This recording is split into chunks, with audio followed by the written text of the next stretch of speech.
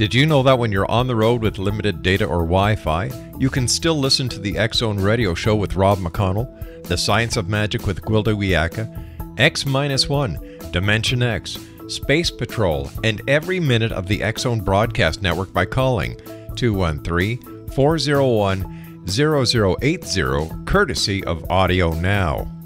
No smartphone, app, or internet needed.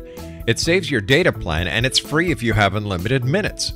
Call 213 401 0080 to listen on any phone, anytime, anywhere. Remember 213 401 0080 for the best of the paranormal, parapsychology, and sci fi radio programming anywhere 24 7 365.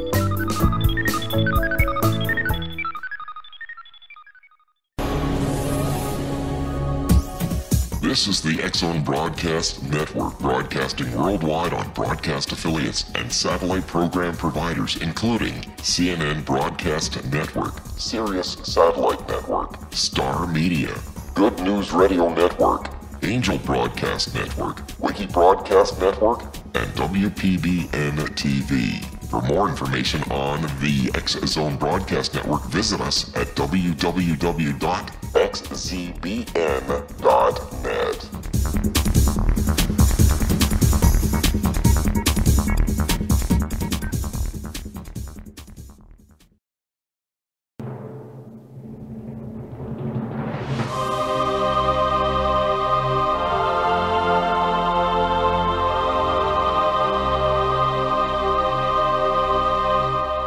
The Science of Magic with Gwilda Wiyaka is largely an opinion talk show. All opinions, comments, or statements of fact expressed by Gwilda Wiyaka's guests are strictly their own and are not to be construed as those of the Science of Magic or endorsed in any manner by Gwilda Wiyaka, Relmar McConnell Media Company, its affiliated networks, stations, or employees.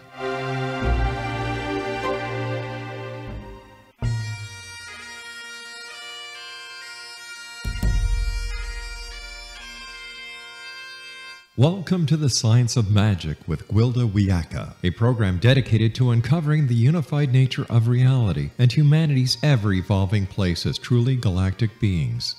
For more information on the Science of Magic with Gwilda Wiyaka, visit us online at www.thescienceofmagic.net.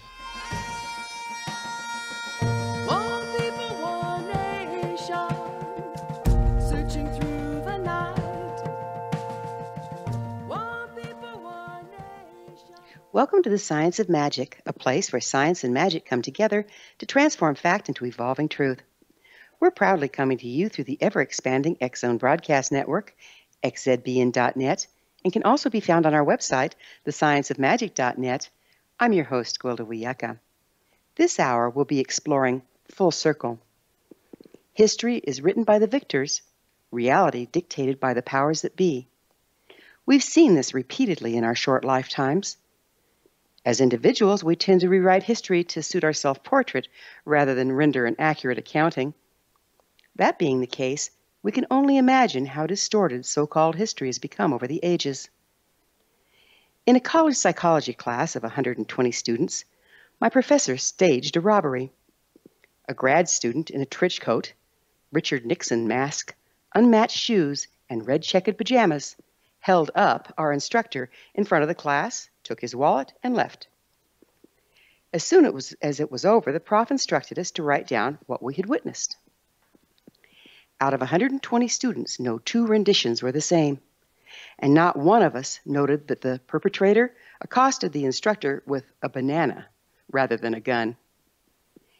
If 120 relatively intelligent college students can't get their story straight less than five minutes after an incident taking place on a stage in front of them, what does that say about accurate accounting of history over the ages? When suffering through various history classes, I couldn't help but notice what was being touted as truth simply did not add up. To this day, we can't reproduce the precise construction of the pyramids at the Gaza Strip. Yet we're supposed to believe the mammoth stones were dragged into place and positioned without so much as a razor's space between them by slaves with ropes and ramps? Uh, sorry, not buying it. And what about the statues at Easter Island? The Moai are monolithic human figures reportedly carved by the inhabitants of Easter Island in eastern Polynesia between 1250 and 1500 AD. The production and transportation of more than 900 statues is a real puzzle, as some are 33 feet high and weigh 82 tons. What's the likelihood this was accomplished by primitive peoples with no advanced machinery?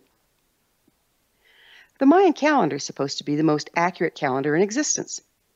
Calendrical timing, this precise, is dictated by many things, including relative positioning in the galaxy. Yet, the knowledge of the solar system and galaxy required to produce, to produce such accuracy was supposed to have been obtained by Mayan people during a time without even so much as a telescope? I've always had a sense we were by no means as advanced as we've been in times forgotten, that we've cycled through this process many times before. Maybe, just maybe, the reason we fail to find the missing link is because there isn't one. Instead, what if we evolved not from apes, but from the remnants of our last self perpetuated demise? We've defined our reality around common denominator historical belief systems. Culture and religious beliefs have been established and wars waged over supposed historical facts. If indeed our historical details are grossly inaccurate, what does that do to our reality? What effect will it have on beliefs and cultural mores? What would such a radical reframing do to societal stability, to economics, or to established governments? Discovery of a massively false history would rival the reality shift required to perceive the world as round rather than flat, or that the earth indeed circles the sun.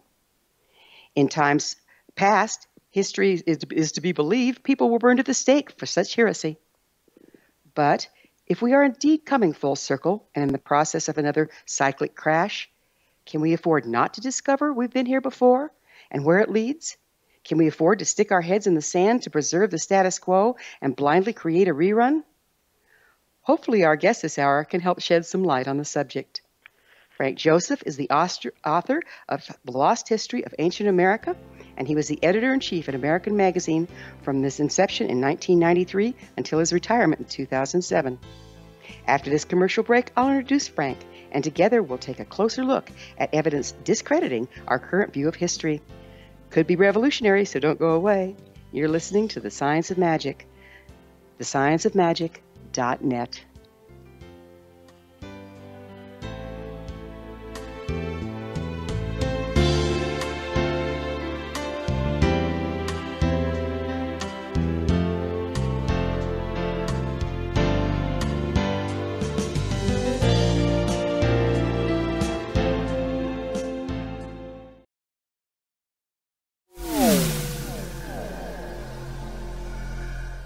This is Kevin Randle. For nearly 30 years, I have been investigating the case of the Roswell UFO. I have interviewed hundreds of people and stood on the crash site. Now, in Roswell in the 21st century, I have reviewed dozens of hours of audio and videotaped interviews, examined hundreds of files that relate to the crash, and have returned to Roswell in an attempt to put all that information into the proper perspective. For the first time in Roswell in the 21st century, I have made a dispassionate reevaluation of all that material and provide a new look at what happened. This is a book that clears away all the clutter that has hidden the truth for so long, strips away the various lies that surround the case, exposes the Air Force attempts at cover up, and found a core of solid information that tells us all where the case stands today. Roswell in the 21st century will be available in just a few weeks. For more information, please visit my website at www.kevinrandle.blogspot.com.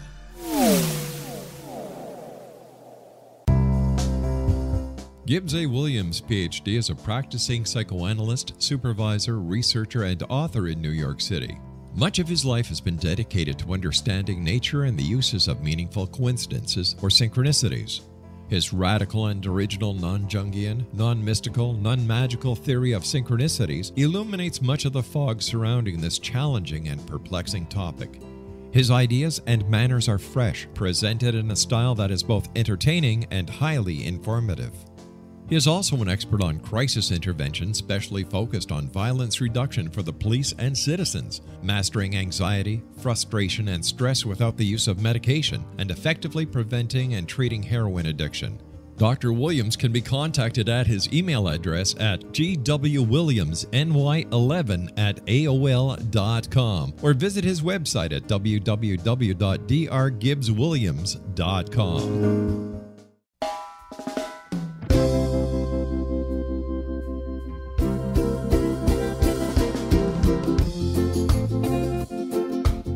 This is Johanna Carroll, host of Dialogue with Divinity on the Zone Broadcast Network.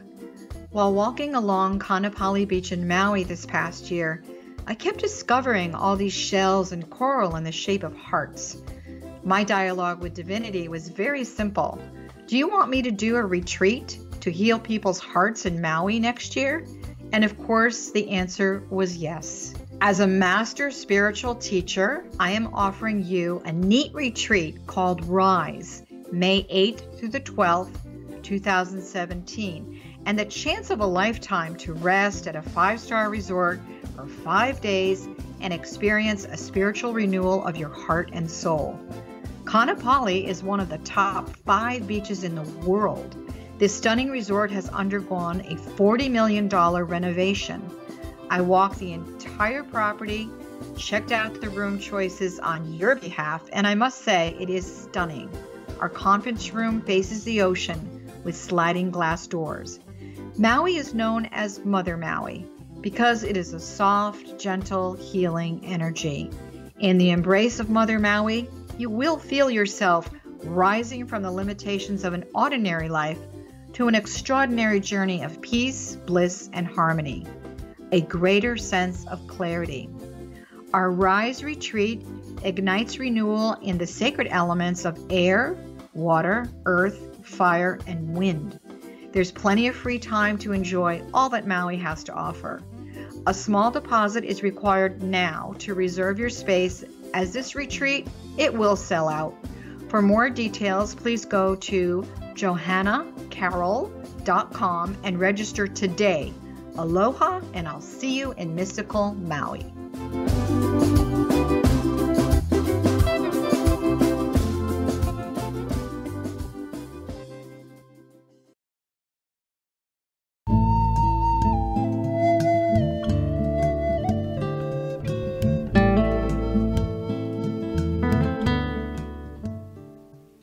Welcome back. This is the Science of Magic, dedicated to unification and evolution of consciousness.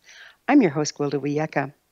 Our guest this hour is Frank Joseph, the author of Lost History of Ancient America.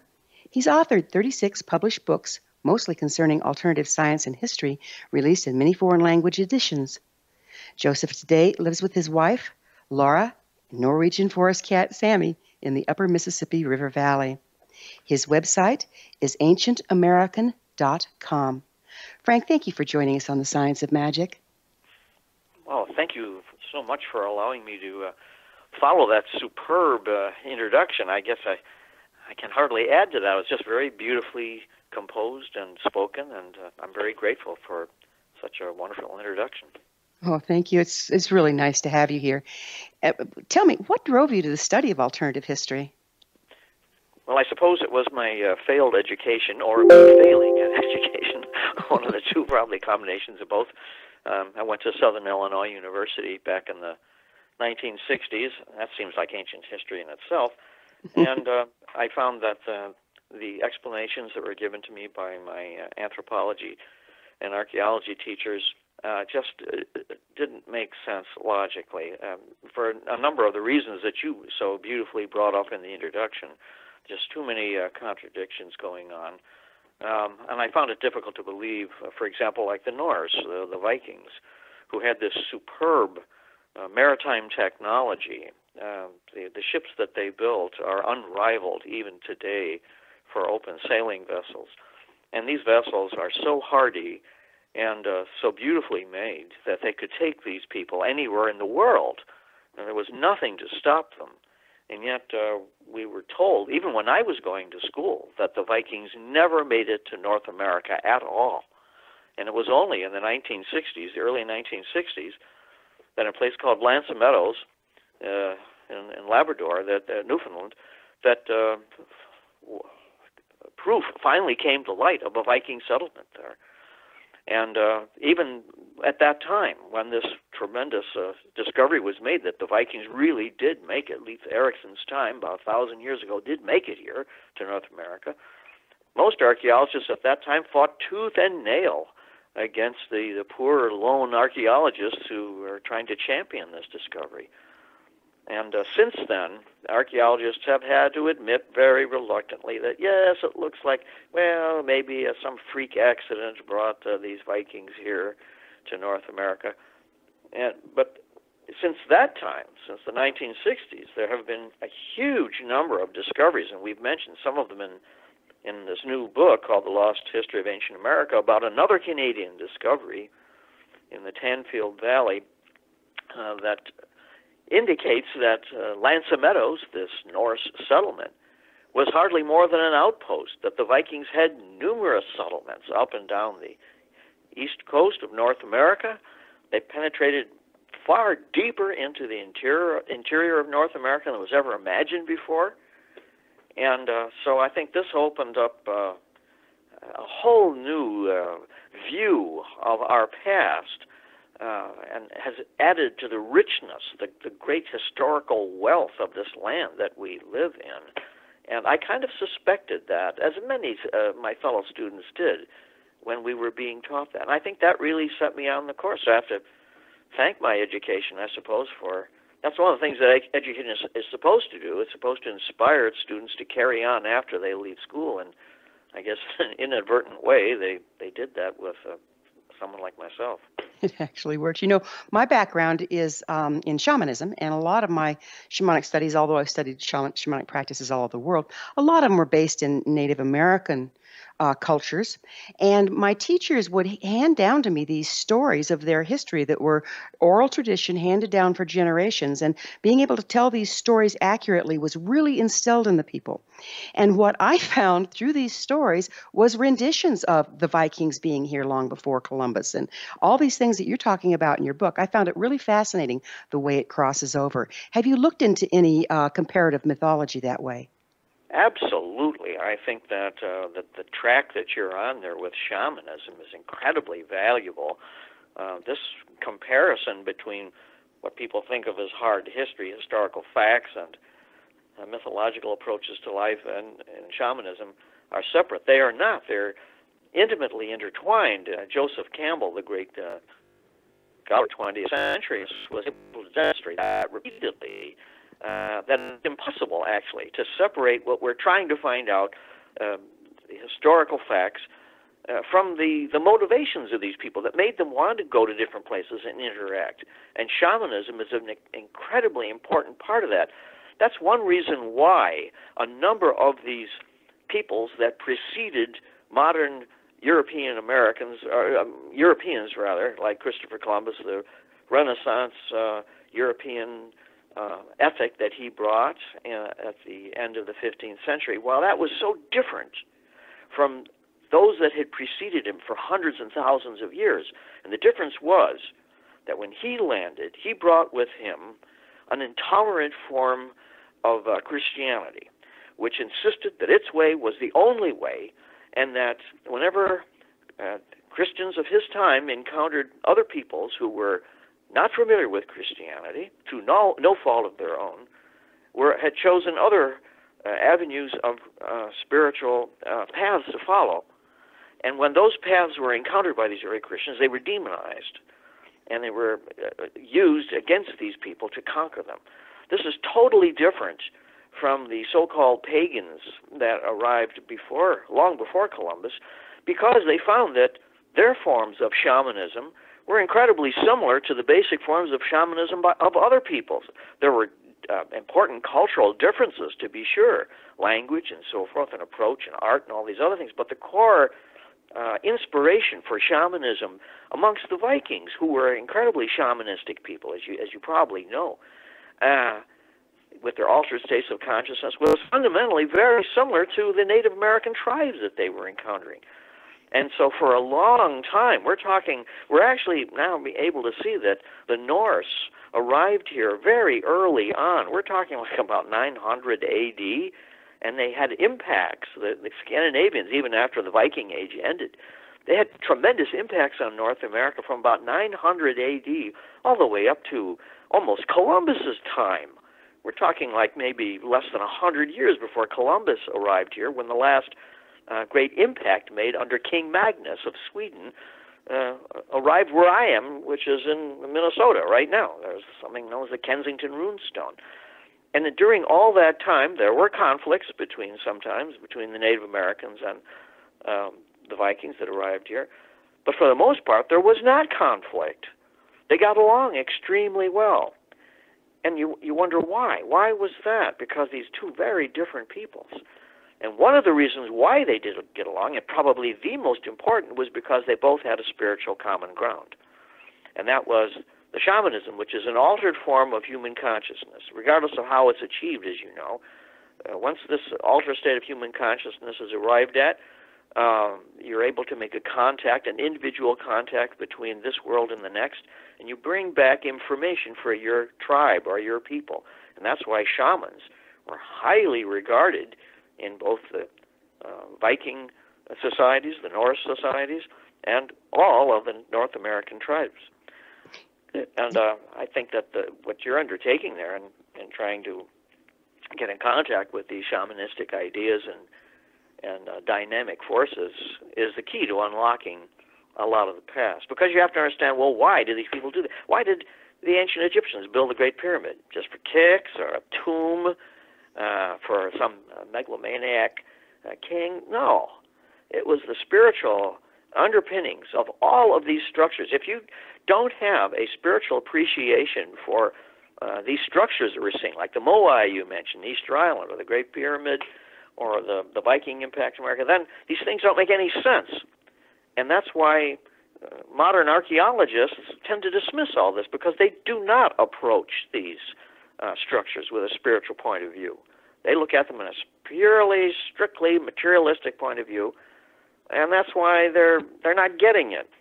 Uh, you need both, I think. You have to have be have to be grounded in science to be sure, but you also have to be open-minded enough to see that there's a human quality affects all of, of these cultures we're seeing, and that really adds terrifically not only to our understanding but our appreciation of the tremendous richness and the great uh, high adventure that was experienced by previous generations of people that arrived here long before Columbus. This is not to take away from Columbus; he was a great man. He, no doubt, he was a fabulous navigator, and his achievement uh, cannot be tarnished. It's unfortunate that the people that travel in his wake, of course, uh, didn't have that same sort of um, high-minded and professionalism that that he brought in opening up the, the continents at that time.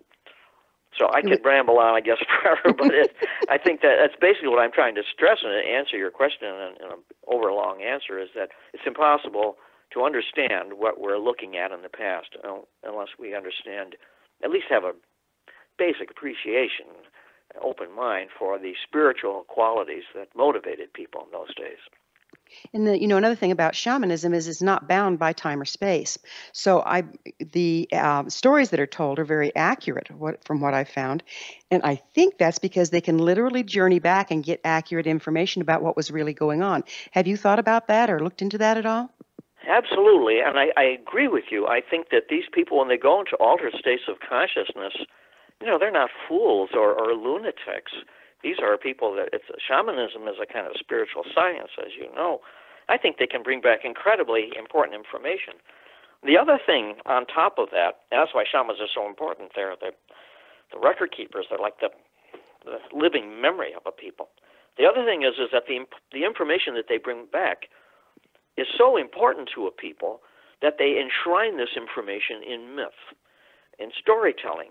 How else are a pre-literate people going to uh, carry on those that important information, that high knowledge, unless it's enshrined in some kind of a mnemonic device? This does not mean that um, these myths are just stories or fables. Uh, it, they are just uh, means of preserving information that's extremely important to people. If you peel back the poetry, and that's what the myths are, they're, they're fabulous poems and dramas. If you just peel those layers back, you see the core truth at the basis of them all.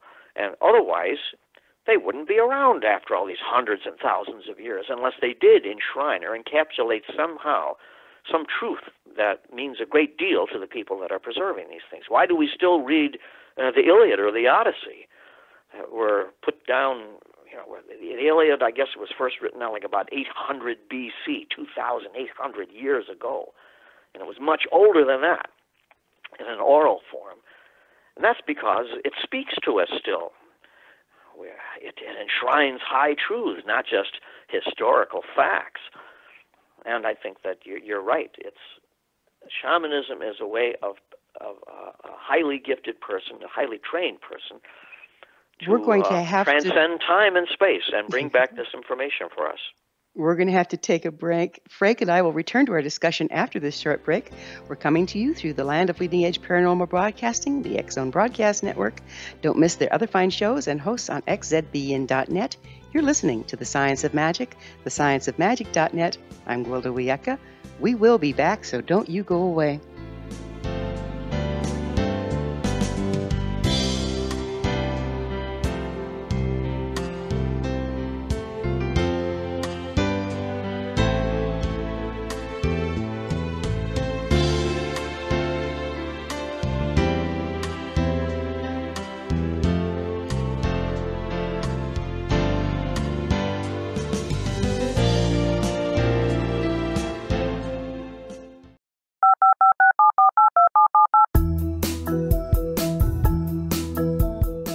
Did you know that when you're on the road with limited data or Wi Fi, you can still listen to the Zone radio show with Rob McConnell, The Science of Magic with Gwilda Wiyaka, X 1, Dimension X, Space Patrol, and every minute of the Zone broadcast network by calling 213 401 0080, courtesy of Audio Now.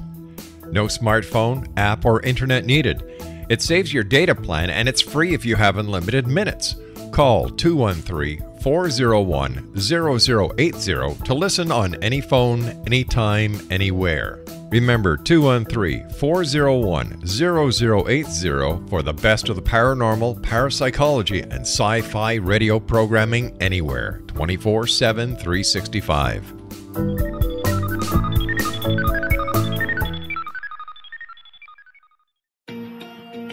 Wouldn't you love to know the secret to everything? Well, then, meet Dr. Kimberly McGeorge and her cutting edge breakthrough knowledge that combines science with possibility. Dr. Kimberly brings real life answers and healing to those open to alternative solutions. She teaches solution based programs and classes that will change all areas of your life forever. Specializing in conscious creation, intuitive readings, and energy medicine, you can rapidly shift health, relationships, business, and money and abundance challenges quickly. Receive her best selling book, Secret to Everything, at no cost by going to secrettoeverything.com forward slash X Zone. That's right, transformation can start now. Just go to secrettoeverything.com forward slash X Zone and receive Dr. Kimberly's book for free.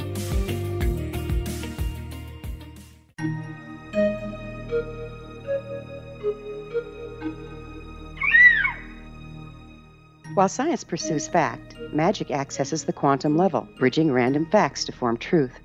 As long as science and magic remain separate and polarized, the truth cannot be known. I'm Gwilda Wiyaka. Join me on the Science of Magic radio program, dedicated to unification and evolution of consciousness. During each episode, I'll be speaking with experienced and respected scientists and mystics. From astrologers to astronomers, from medical doctors to shaman, the scientific method to dowsing and intuition, we'll weave together information from seemingly divergent practices to promote unity and enlightenment. Join me, Gwilda Wiyaka, and the Science of Magic right here on the Mutual Broadcast Network. For more information, visit www.thescienceofmagic.net.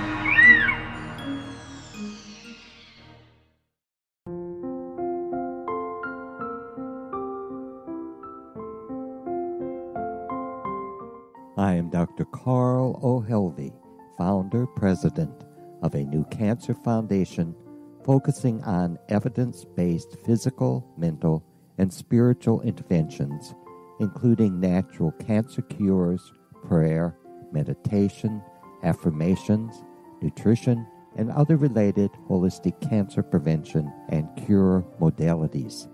These are used in cancer education, research, and financing care. I ask for your help to continue this important work by donating at www.holisticcancerfoundation.com.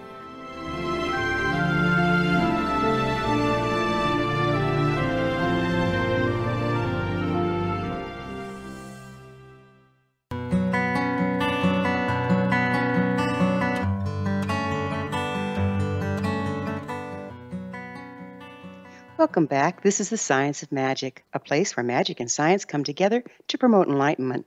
I'm your host, Gwilda Wiyaka. Our guest this hour is Frank Joseph, author of The History of Ancient America. Frank, we were uh, playing with the fact that the shamanic journey trance and the myths and legends and, and stories that come through the shamanic practice kind of humanize and bring the magic back to historical facts. And yet, is don't you, because there's so much myth in and um, not myth, but allegory in the shamanic journey information, don't you think that's what makes it so very important to be able to compare it back to archaeological digs and scientific facts so we can get the full picture? I believe that that is really uh, the future, the good future involved in all this, and that we're, we're finally beginning to bring back and to, to meld the spiritual and the scientific, that they're not as contradictory as is, was once understood.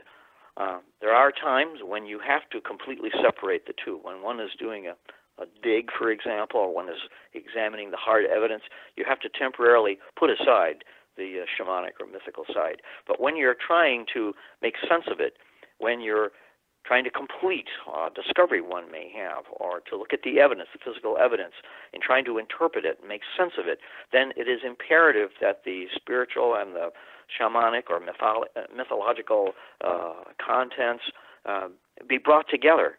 And that's when uh, material comes alive. Uh, that's that infuses it with uh, human quality that would have been missing otherwise. So I think that uh, what you're you're talking about is absolutely correct. There's going to be this, or there actually is taking place right now, this melding of both sides. Uh, but it has to be done uh, properly. It has to be done at the right time. It has to be done carefully, and uh, that is happening. That's beginning to happen. That's the good news. You know, um, I've been taken on crime scenes various times and uh, asked to use my shamanic skills because I'm from a family of a lot of police officers and asked to use my shamanic skills to try to read what went on at a scene of a crime. And that same pr- process can be used to read what went on at an archaeological site. Have you ever played with that? Well, uh, I'm not as anywhere near as talented uh, as you, I'm afraid. Um, uh, but I, the only thing I can do is I can acknowledge and uh, and honor uh, this shamanic side. And when people like yourself are able to uh, get visions or to feel or see things, then it's it's for the less uh, gifted person like myself to uh, integrate that information and uh, try to harmonize it. Um, but um, I think the important thing is is uh, to recognize that there is this this real connection between this this physical and the spiritual. And I guess it was released not too long ago that the FBI in the United States has a and has had for a long time a long and growing list of talented persons like yourselves, like yourself in the United States, who are called upon from time to time to solve crimes that they are totally baffled by. So it's amazing what an admission that is to come out that someone as hard nosed as the FBI will be able to rely upon people with psychic and shamanic abilities to help them solve crimes, and they do help them solve crimes. Not in every case, but in, in many time, many uh, instances, they do. They bring this information to light, and I think the same process, when applied on a larger scale to archaeology, is going to completely transform our views of the past. And when you when you do that, when you transform the views of the past, you transform the view of yourself. Because, as you said in the introduction, history, unfortunately, and this is, I guess, human nature, history is just a way of justifying our own actions or trying to explain who and what we are. And like anything else, if there's good intention with it, it tr- comes out wonderfully well. If there's bad, well, you can use history to justify subjecting other people or doing terrible things to them. Oh, we did this before, you know, successfully. That's bad. But there are better examples to strive for, and um, I, I think that this connection between the spiritual and the physical that you're involved in is not only incredibly uh, valuable on a, on a crime level, helping people uh, to achieve justice, but uh, it opens up, I guess, this vast panorama of who and what we were and still are. And the more you learn about the past, and the more you learn about the future, where you're going, uh, just like anything else. If if I was to deprive of you everything that you've known about your life, except until the past couple of weeks, you'd feel lost. You wouldn't be able to plan for the future. Be highly disoriented. At the same time, the more experience a person has, the more competent he or she is, and the more confident that person is in the future. It's the same thing, not just with an individual, but with an entire people. And that's Yeah, that- why that's- archaeology that's is so an- valuable. That's that's such an important concept. I mean, um, if we are believing in an erroneous history, our our reality is torqued. What do you think is the most single impactful alternative his, historical concept? What do you think is the one that's going to impact us the most when it becomes mainstream?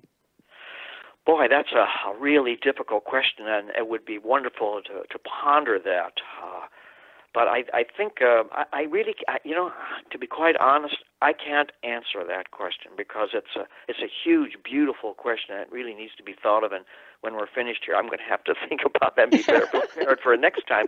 But I, the only thing I can do is from my own little perspective. I think that if well, what is happening now? I, I've been really blessed with this. A number of these ancient American books that I've written, not this one so far, but previous ones, have been uh, picked up as textbooks in a number of schools, and I can't tell you how That's great. gratifying that is. Yeah, the Rosen Publishers has picked up a couple of previous volumes, and they're actually teaching this alternative history in a number of schools in the United States now.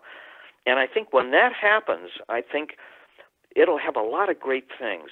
First of all, history is so boring to most kids. It's taught in such a well, it's taught in such a politicized way, and you know this is the way it's supposed to be, and it doesn't really relate to to kids or young people. But when they when they grasp the adventure of it, I think that it will open up the enti- an entire academic world for them because they think, wow, God, if this is so interesting, maybe these other subjects are cool too. I've had uh, a couple of presentations in, in high schools and even grammar schools, and I, I've emphasized the adventurous aspects of this. The Vikings um, having to go through tremendous storms and great difficulties, and then finally arriving here and seeing this totally strange and different people. And uh, rather than coming to, to blows right away, they they began to trade, and then there was uh, conversations begun through sign language and so forth, and they found that there was certain spiritual beliefs that were in common. I mean, this is, you know, when I when I shared this, you know, the kids really be, were galvanized by the story. They'd never heard this before. Of course, their teachers were angry at me for bringing up all this all this nonsense, but now the kids will go out and start reading up on Vikings and so forth. So I think that can be highly transforming. Imagine an entire generation of, of people that are now really excited about learning about something instead of just, uh, you know, watching MTV or whatever they do now and plugged into their computer games. Really fascinated by uh, the origins of their people again. Uh, I think that's that could be really transforming. I mean, that could really uplift a, a whole generation. So that, that's what I'm I'm trying to to do, and in my own very small way. But I think that can that can have a tremendous impact on the future. It, what what effect do you see the alternative histories having on our society and belief systems? Do you think it'll be very disruptive, or do you think we can slide it in slowly? Well, I hope it's disruptive. I hope that it causes as much trouble as possible. Because uh, if it's just as uh, smoothly, and then people might take it for granted. Like we need controversy. We need people to really be offended by a lot of things. I mean, uh, we need people to discuss these things and get excited about them. I think that can. That's how revolutions are made, and uh, it's it's it's good that there is some dynamic aspect to this. And uh, that's why it's a funny thing when we started our magazine, Ancient American, uh, more than 20 years ago. We got a lot of criticism uh, from uh, academics, of course, you know, and We still do, but uh, now we realize that that criticism and that skepticism is very good because it makes it controversial and it keeps us up to the mark too. Because we'll make mistakes, we'll make, we'll say things that are are patently wrong, and we have to go back and correct those things. And it's the skeptics that point these things out. So it's good that you've got this fierce dialogue going on, and. Uh, I hope more of that continues. And I, we really have seen uh, the change, both the academics and ourselves. We have corrected those statements uh, that were false that we would say from time to time and get trapped into.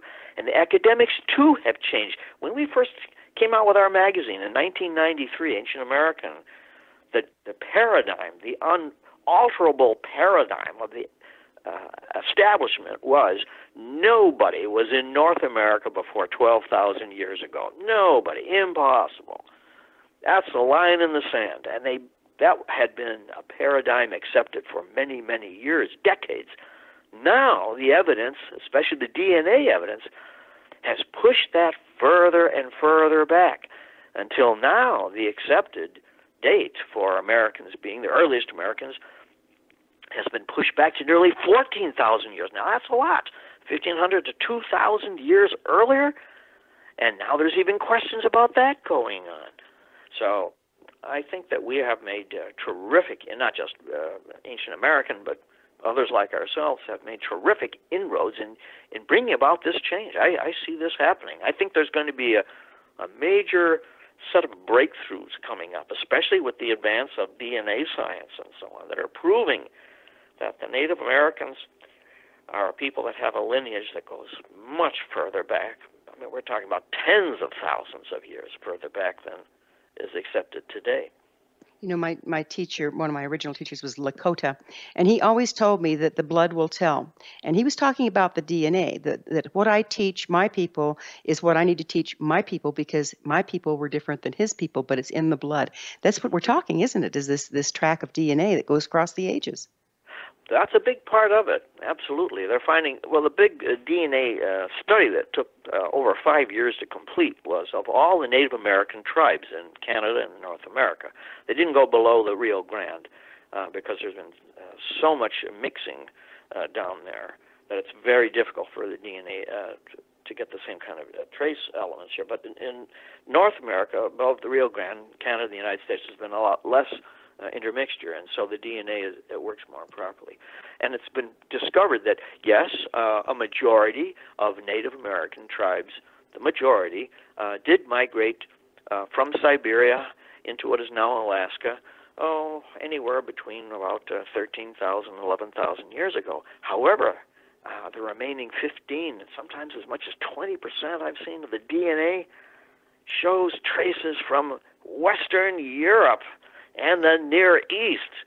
Now, this news, which has been out for what, eight years or so, uh, has not percolated into the news media yet. I mean, that's a big story, but I've never seen it on, you know, CBS or any of these other major networks. But it's been established scientifically through genetic testing that many of the Native American tribes have European or Near Eastern ancestry and sometimes Asian ancestry. We're going to have go to back pick long to, before. We're going to have to pick up on this subject on the other side of another break. Um, Frank and I will be back shortly. You're listening to The Science of Magic, thescienceofmagic.net, the place where altruistic professionals of science and the esoteric create common ground for the betterment of our world. We're brought to you by the leader in paranormal, spirituality, alternative health programming, the X Zone Broadcast Network, xzbn.net. We'll see you on the flip side.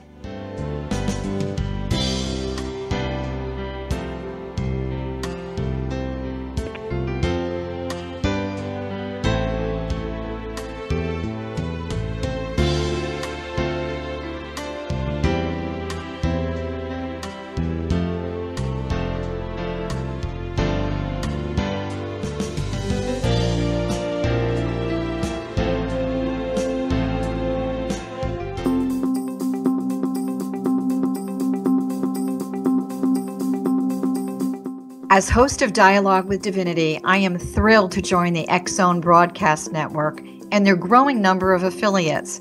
My quest for a connection to the divine ignited my successful career path as an international spiritual counselor for over 40 years, and author of four books, and well known metaphysical educator.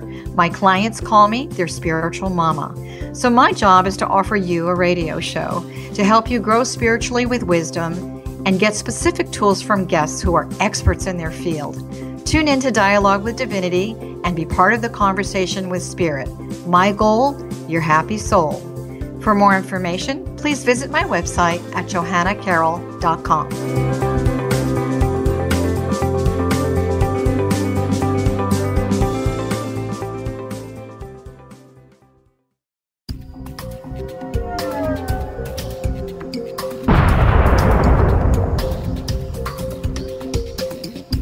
Coming soon to the Zone Broadcast Network is a different perspective with me, Kevin Randle, as your host. We'll be taking a close look at what is happening in the world of UFOs today with side trips into the paranormal. Guests will range from those who are household names to those who have a different perspective on a variety of topics. No topic will be taboo, but there will be tough questions asked as we all search for the truth about UFOs, the paranormal, and those things that excite us. Sometimes we'll agree with a guest and sometimes we won't, but we'll try to keep the program topical. For those of you who like to read, be sure to visit www.kevinrandle.blogspot.com and remember to listen to the other fine programs on the X Zone Broadcast Network at www.xzbn.net.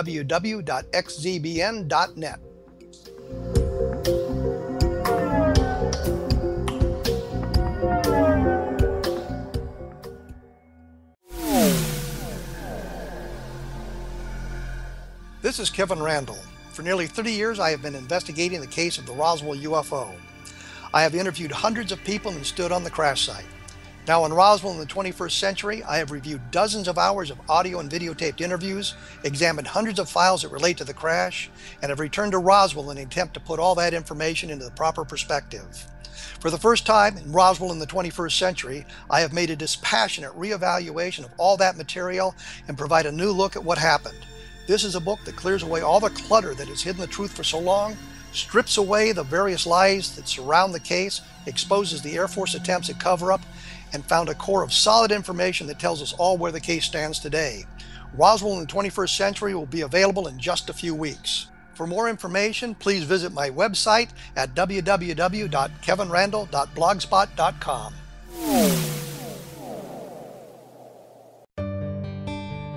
Afterlife expert Roberta Grimes was the first one to say that dying can be fun. Now, her best selling book, The Fun of Dying, is available in stores worldwide.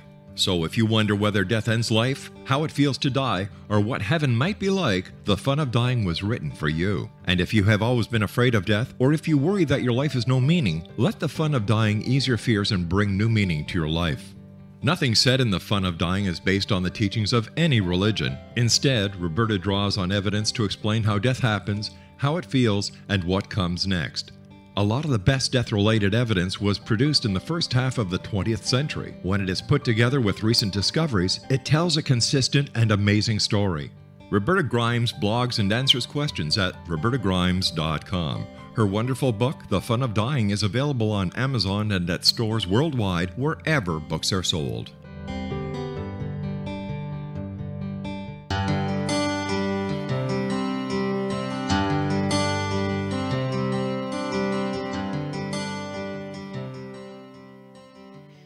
Welcome back. This is the Science of Magic, bringing together gifted people of service to the world.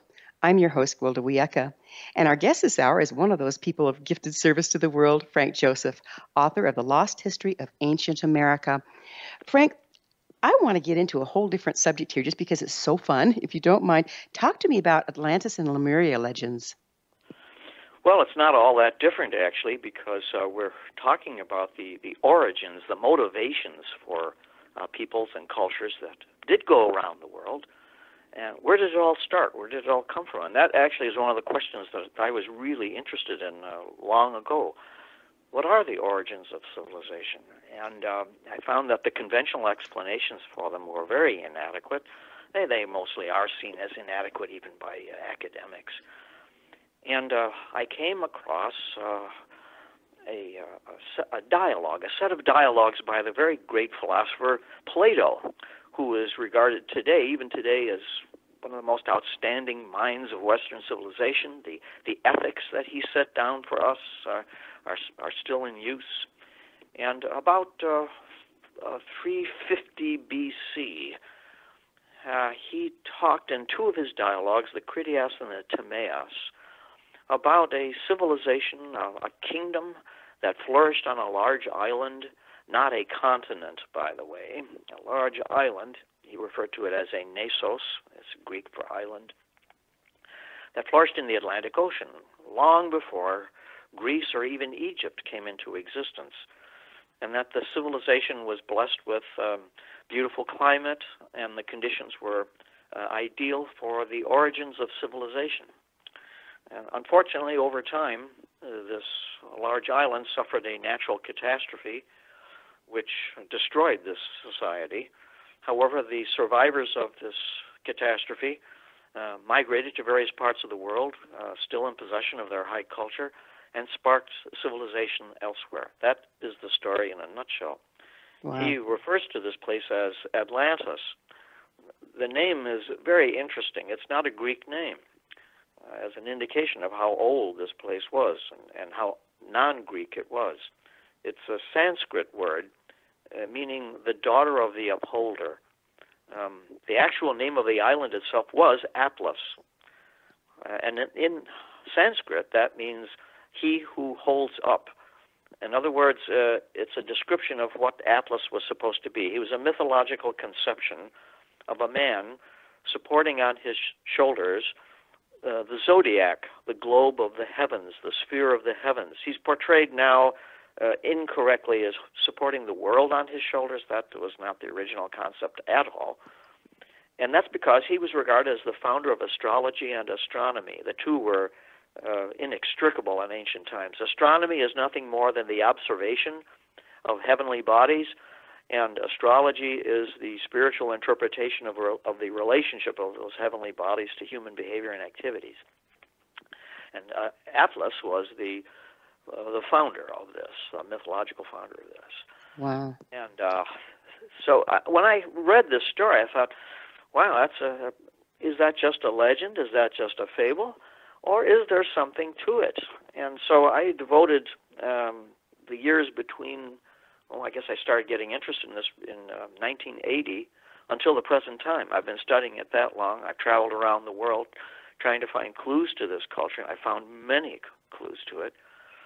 And uh, so I, I became convinced over time, as many other uh, investigators have, that this is a, a uh, legendary telling of an absolutely historical event that took place, and that our Hmm. origins as a civilized people uh, were on this on this uh, island in the near Atlantic, uh, going back many thousands of years ago. That's just Um, fascinating, isn't it? You know, yes, there- and, and there's been so many different reports of it. It's just, you know, when you hear it over and over again, you've got to start looking. You know, Frank, before we get too far into this last segment, would you mind telling people where they can find your wonderful books and services? Well, uh, you did mention um, our website, which is uh, ancientamerican.com. Uh, my books are available there. Uh, if anyone is interested in purchasing a copy, there is uh, a 24-hour telephone number they can call. It's uh, 651 uh, 56. I'm sorry, I gave you the wrong number. I gave you the wrong. that number. That number's been changed. It's a toll-free number. It's eight seven seven four nine four zero zero four four. And uh, this latest book is called uh, The Lost History of Ancient America, and um, it's I believe it's 16 bucks, and we can get that out to anybody that that's interested in it. But the uh, website that uh, features a number of my books, and I would urge people if they're interested that uh, they can order directly through our magazine. Fantastic. You know, comparative mythology has uncovered an amazing number of cultures across the globe reporting the Great Flood. Do you think the Earth has seen the rise and fall of human populations and cultures like during the myth of the Great Flood more than once? Well, there's no doubt about it. We live on an extremely dynamic planet. Well, look, even in our own time, uh, in uh, 2010, we have this tsunami that uh, overwhelmed uh, parts of Japan and was responsible for the deaths of thousands of people and the destruction of uh, local infrastructure. So there's no doubt that uh, living on such a, a, a live planet, such a, uh, a planet in flux, that uh, there are definitely going to be times when cultures have been impacted by these things, and when that happens, um, the survivors remember, and they care, they perpetuate, they carry on uh, remembrance of this event. You mentioned the Native American tribes. I don't know of a single Native American tribe, and I've studied and been with a great number of them, that is not aware of the Great Flood that they count their uh, origins from. One of the most convincing comparisons that I found early on was the e- Egyptian story of the Great Flood. It was a very great um, a scholar by the name of Manetho, was an Egyptian scholar who lived about 300 BC, and he uh, recorded some of the earliest traditions of his people, the ancient Egyptians. And he told about the origins of ancient Egypt. He said that long ago, before there was in Egypt, there was an island uh, beyond the 12th bow, which was his way of saying that it was outside of the Mediterranean. Um, the Egyptians had a way of marking their maps very similar to our conception of latitude. They referred to them as these semicircles on a map as bows. And uh, beyond the 12th bow, the 12th bow corresponded to what today would be Gibraltar, Spain, Morocco, that area. Beyond the 12th bow, Manetho said there was an island, and it was referred to as Sekhet Aaru. This story, by the way, is not only in Manetho, it's in a much earlier uh, Egyptian source called the Book of the Dead, very famous uh, compilation of prayers and so forth. And Sekhet Aaru is mentioned in the Book of the Dead, and that goes back, oh gosh, that's about 4,000 years ago or more. And on Sekhet Aaru, uh, human beings and gods supposedly lived together and created a fabulous kingdom, the first kingdom. But over time, these people became so arrogant that they assumed that they could uh, live without the gods, didn't need them anymore. The gods punished Sekhet Aaru by sinking it into the sea. And only a few people, according to Manetho in the Book of the Dead, uh, were able to survive this catastrophe. They sailed to what is uh, now the Nile Delta, and they transformed that area by bringing the high magic and technology of Sekhet Aaru to the natives of the Nile Delta and the synthesis that resulted was Egyptian civilization. Now, what's interesting about that story is that not only does it sound like Atlantis, it also coincides with other uh, origin tales from other parts of the world. Sekhet Aaru in Egyptian, it means field of reeds, R E E D S. And a reed was considered uh, was used as an ink pen. You would snap off a, a reed and you dip it in ink and you could write with it as a pen. And so to possess a reed meant that you were literate. And a field of reeds is a poetic metaphor for an extremely highly literate place. If you have a whole field of reeds, that means you have a lot of people that know how to read and write. So it's for wisdom. On the other side of the world, thousands of years later, the Aztec people said that they originated on an island in the Atlantic, which they referred to as Aztlan. And Aztlan was also this high kingdom that suffered a natural catastrophe from which the feathered serpent and his people arrived on the shores of Mexico. They created a synthesis with the local people of the technology they had to create Aztec civilization. The thing about that is that story is so similar to Sekhet Aaru, but then when we get to the name of Aztlan, what does Aztlan mean? Aztlan means field of reeds. Oh, wow. exactly the same as Sekhet Aaru in ancient Egyptian. And it meant exactly the same thing because the Aztecs and their Mesoamerican uh, predecessors also used reeds as writing pens. So, what are we to make of this comparison? And believe me, it is not the only one. When you multiply that by dozens, maybe hundreds of other traditions around the world, they affirm, they confirm a story about a place that existed in the Atlantic Ocean of high culture that suffered a natural catastrophe and its survivors spread its technology around the world. So I think that the story of Atlantis, if I could bring it into a court of law, I could bring in a guilty verdict on the truth easily through the circumstantial evidence. Admittedly, the body is missing.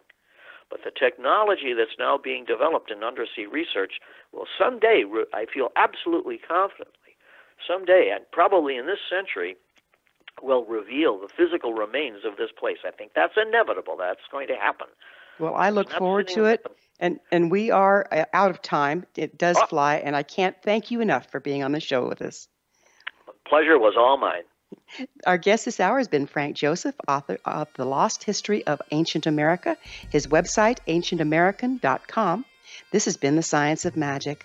Remember, you can always listen to past thought provoking episodes on our website, thescienceofmagic.net. Don't forget to join us on the next episode of The Science of Magic. Until next time, dear ones, may you be blessed with knowledge, comforted with love as you entertain the possibility of a different past and its implications for our future.